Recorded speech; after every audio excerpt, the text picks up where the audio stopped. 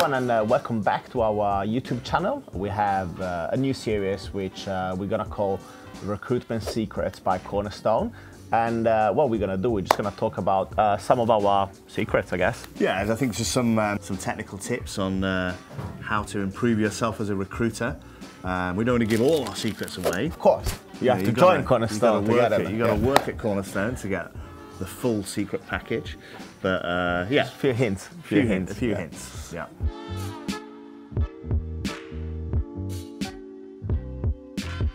It's how to get candidates excited about the jobs that you have, and um, I think it's a pretty key part of being a recruiter because sometimes you know you can represent a client which maybe isn't famous, If they move my desk one more time, then then, I, then I'm quitting. right? Yeah. Or you know isn't a household name, and we all know, especially in Japan, how how brand conscious people are.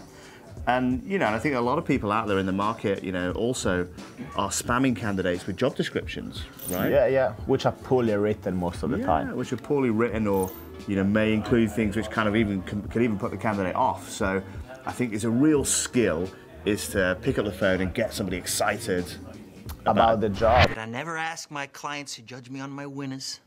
I ask them to judge me on my losers because I have so few. In most cases, I think uh, I think personally that sometimes uh, job descri- description can be actually an obstacle to you selling the job itself, right? 100%. Because, of course, you know, if your client is you know Google, Amazon, Gucci, Prada, you know, they don't really need you to sell the job. You know, they get lots of applicants by themselves. Maybe not in Japan because it, the market labor is a bit is a bit tight, but.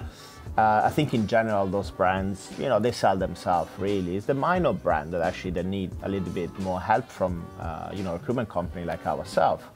And in that case, again, just presenting a job description uh, doesn't really help the candidate understand what the job is and also what is behind the job description, right? Who is working at that company, you know, what are the nuances about the job.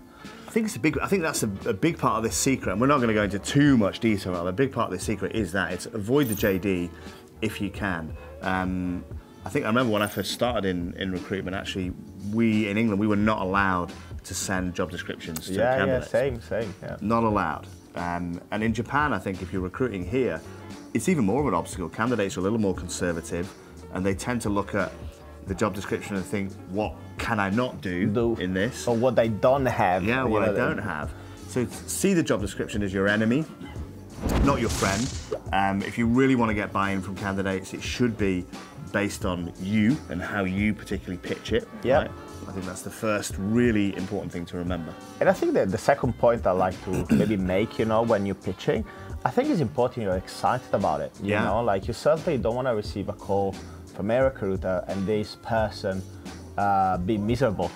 you know, Yeah. So I think your tone of voice, or if you meet someone in person and you sell it face to face, you know, your body language, the way you dress, I think the way you behave during that pitch, uh, whether it's verbal or non-verbal, is totally and really, really important, I think, in you in at the end getting a buy-in and a positive response from the candidate. I think that's it. Positivity. And the last kind of general little tip I think I would add is uh, don't assume anything, right? I think, you know, we've all been there where we've maybe been to a client meeting, first time we've met the client, and you walk in the office and you think, No! Hell no! I, I, I wouldn't fancy working here. And maybe you meet the people and think, "Phew, I don't, you know, don't really like the culture personally. But doesn't matter. You don't assume that other people feel the same as you do. And every single job that you pitch, you pitch it with that excitement and passion. Enthusiasm, yeah. Enthusiasm for it. You find the good points and you sell it. And if you do that, obviously there are a few more technical things which, which we're not going Yeah. to talk about, but if you do that generally, you're going to have a much better, I think, success rate of getting candidates to apply for your clients.